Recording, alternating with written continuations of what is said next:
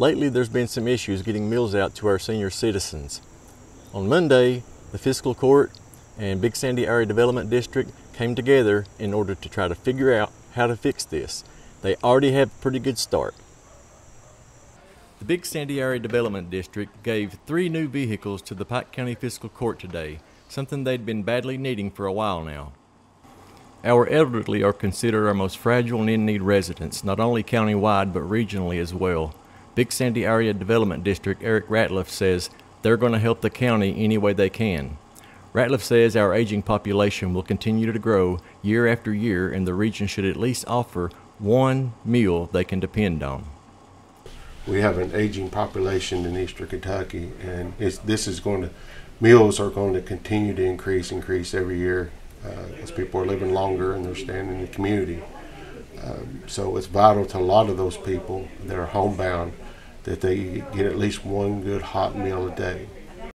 Journey into the extraordinary. Blast off from any of our three locations Coal Run, Caney, or South Williamson. Hideaway, Novelty Smoke and Vape. The number of senior citizens serviced by this program yearly is more than you might think. And we deliver approximately 60,000 meals a year. So it doesn't take long to put a lot of miles on vehicles and the vehicles we had uh, were purchased during a previous administration and they had um, over 100,000 miles on them then. So now they're up to 300,000.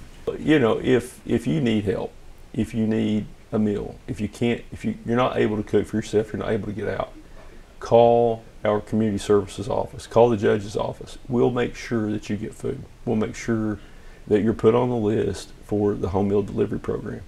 But we really encourage seniors to, to visit their local uh, senior citizen center. It's a great place to socialize. There's a lot of events. Judge Jones says that they will be adding more to the fleet as the months continue. Reporting from Mountaintop News, I'm Sheldon Compton.